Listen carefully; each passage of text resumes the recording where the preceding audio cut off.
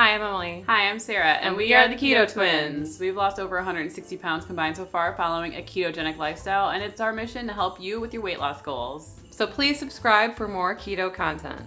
So the holiday season is upon us. It's the most wonderful time of the year. and it's the most wonderful time to try some new recipes. These are questionable recipes to us because we just don't know if they're going to turn out well. So we thought we'd bring you along for the ride. So it's a very controversial topic, um, this one, this recipe, but it's It may trigger some people. it may trigger some people. But when we were growing up, we absolutely loved canned cranberry sauce. So that's what we will be making today. It's the jellied kind, the one that's like a dollar at the grocery store and so sweet. But um, I can't remember a time that I didn't have that for Thanksgiving and Christmas. And I remember I think one, one time my mom forgot to buy it and it was a travesty. So we thought, let's make a keto version of it. And we actually did find a recipe that we're going to try. We've never worked with gelatin before, so it should be fun. And of course, we're going to link the original recipes to these below. We might be tweaking them a little bit based on what we have around um, our houses. So we decided to ask last week what you guys miss on keto. And you know, there's lots of recipes out there. They're amazing for keto stuffing and keto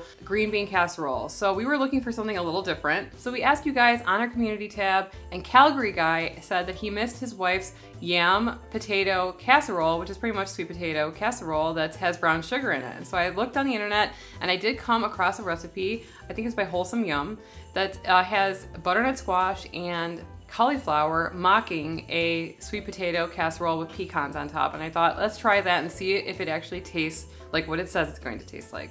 So we're going to be calling this episode Testing Keto Recipes Holiday Edition. Since the canned cranberry sauce is going to take the longest because it has to cook and, you know, also solidify at the end, we're going to do that first. This recipe is from Keto in Pearls, and like we said earlier, we'll link this one in the description below. So we're going to take a 12 ounce bag of fresh cranberries and heat it up and then add like the sweetener and stuff like that. We're not going to give you the full measurements because we want you to check out the recipe below. So let's get to work here.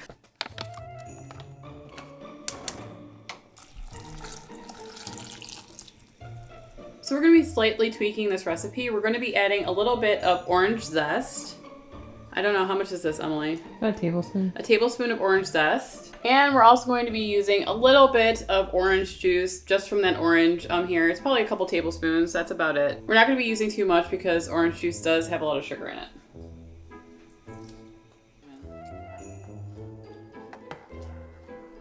All right, so that's pretty much it. We're going to let this simmer on the stovetop until these berries start bursting, and then we're gonna strain it and we'll do the next step. All right, so now we're going to start making our butternut squash, cauliflower, sweet potato casserole. And I'm really excited about this recipe because it has roasted pecans on the top, which I'm really excited about. So the first thing that we're going to do is we're going to cut up this butternut squash.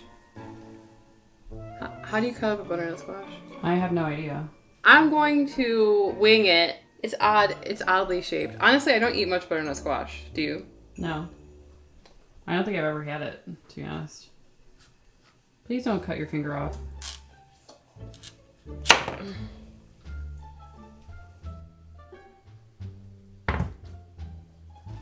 Are you gonna peel it? That's a good point. All right, I'm going to peel it and then I'm going to dice it. I'm going to slice it, then I'm going to dice it, I think.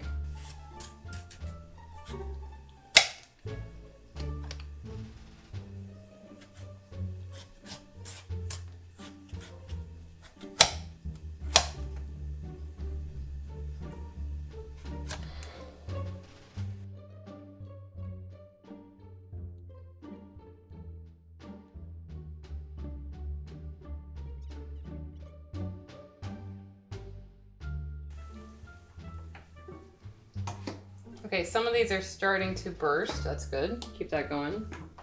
So, what have we learned so far? Buy pre-cubed butternut squash.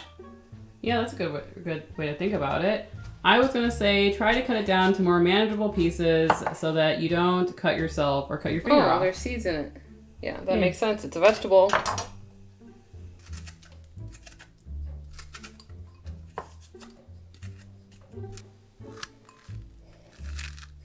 This is always the part I hated when carving pumpkins.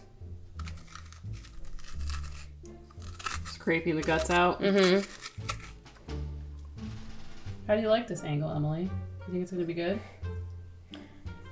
I know that you want to seek your revenge on me. So it's been about five years and I finally cubed the whole butternut squash. I have about a small bag of uh, cauliflower florets. It's about 12 ounces of cauliflower florets that are pre-cut. Um, I put on some olive oil and um, I'm just gonna put salt, um, pepper, and um, a little bit of ground cinnamon. Maybe like just a sprinkling. I'm probably going to adjust this to taste um, as this recipe goes along.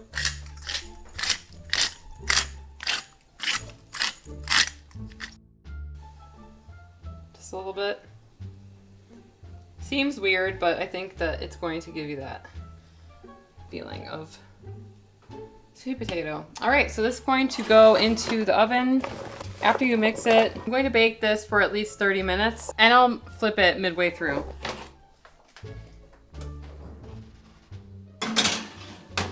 That is a huge tray of vegetables.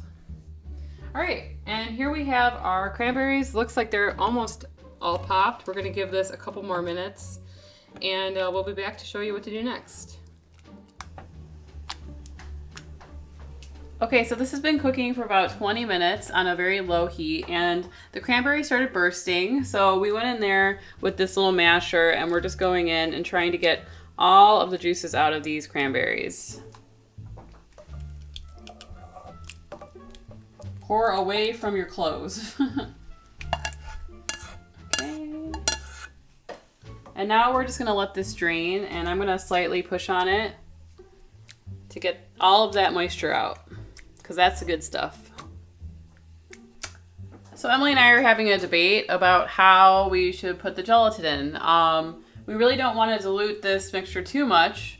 Um, we have about two cups of the cranberry juice in here and we're trying to figure out how we're going to dissolve the gelatin. So you need four, four we need cup. four cups of total. So we're trying to do two cups of hot water two cups of the cranberry mixture and then a packet of this gelatin stuff. It seems like the easier the recipe, the more intimidating it is for me for some reason. Oh, quickly. I thought you were supposed to just let it stand for one minute. Well, it's already chunking. Stir it with a whisk. Whisk it. I don't want it to go everywhere and stain my entire house. I'm just gonna keep stirring in hopes that it, it dissolves. I mean, okay, our fault. I mean, so while I was sprinkling the gelatin, Emily said to me, why is it not clear, the camera? So when I looked, it was not on automatic focus or whatever. And so I took my eyes off of this thing and I started putting the autofocus back on the camera. And when I came back, it started to clump. So you cannot do anything else but uh, follow this recipe, you must pay attention to the gelatin and make sure that it is actually dissolving. Otherwise, you're going to have chunks of gelatin in your cranberry sauce. We are making all the mistakes so that you people don't have to. Pretty much. Okay, we're to try to strain it to get the big chunks of gelatin out.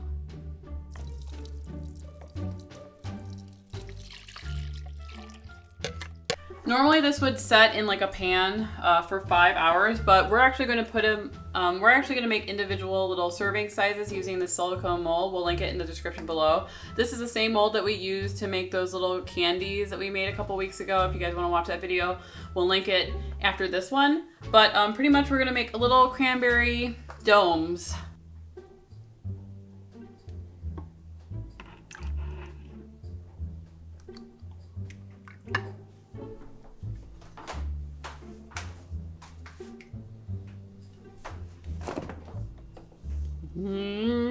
do I have room in my refrigerator?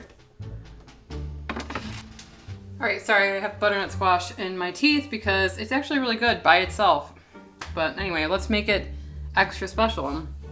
Here we have some pecans. Um, we have a little bit of the Lakanto, what is it called? Golden. Golden Lakanto, it's about a tablespoon. We have the pecans that we've put pulsed in the food processor. I'm gonna add a little bit of butter, probably like a tablespoon. So this is the crumble that goes on top. Doesn't that look good? I bet you this would be good as a pie crust. Yeah, definitely. Yum. A little bit of cinnamon, maybe a just a splash of this Lakanto maple syrup. This is not in the recipe, by the way. this is just what we're doing. We're experimental here on Keto Twins. Okay. So we have this Ninja blender that Sarah has, and we're going to be putting these in there. Um, you might have to do this in batches, depending on how big your implement is. Device. Your device, your food processor, your blender. They're very, very soft. It's kind of good. I mean, it's it's More flavor. yeah. I'm gonna try to push it all in there. I don't know. This is a high-powered blender, isn't it? Yeah. Test the limits of this thing. Shit, I was stuck there. Sarah, stop eating it. Ooh, that one's crispy. I'm gonna just drizzle in um, another tablespoon of butter.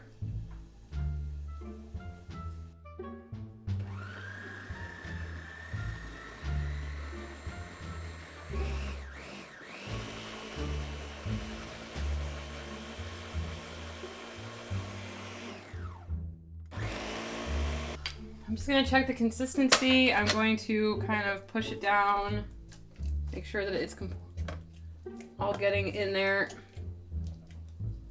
Ooh, it looks good. Smells delicious.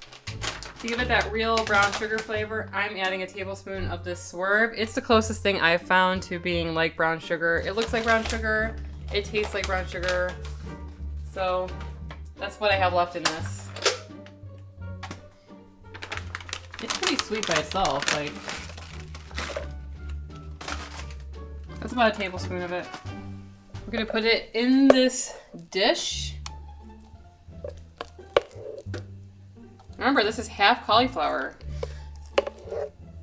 But you can't tell, can you? And I bet you can't even tell. You think it's uh, sweet potato. it's awesome. I can tell that this is going to be a staple favorite for my household. We're to add this crumble on top. Doesn't that look delicious? If the jelloed cranberry fails, at least we have this. I'm gonna put this in the oven for like 15 20 minutes keep an eye on it. Um, you just want, it's pretty much, it's cooked, so you just want this to kind of be all bubbly and golden. The pecans are already roasted, so it might take less than 15 minutes. So it's been 20 minutes and we're gonna check to see how it looks. Ooh.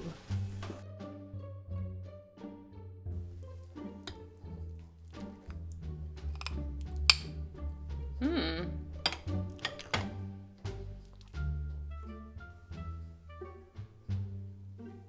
It looks and smells so good. I can't wait to try it. It's really good. It fools me. I, I would think that this was sweet potato.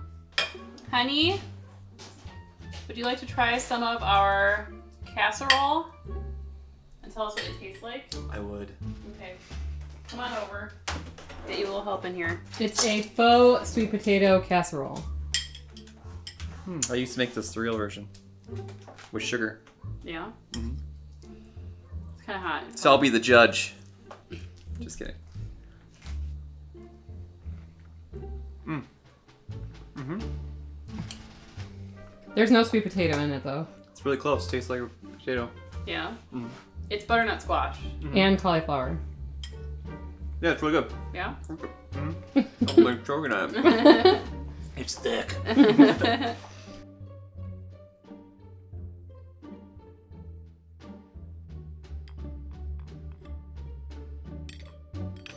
By this time, you you know if our uh, cranberry jelly worked out or not. If it didn't, I would just like the recipe author to know that we can't do math, so that's why. It's probably not their fault. It wasn't their fault at all. It seemed to be going well. Um, I'm just I'm pretty much saying that we are gonna fail. By the way, like it doesn't look good, but you know what? It's only been one hour. It needs six hours at least. So hopefully it will start to firm up, and hopefully it tastes good. But the faux sweet potato casserole Oh turned God. out to be delicious. I'm just gonna call it what it is, which is a butternut squash cauliflower casserole Mash mash. casserole. Ca- Is it a casserole?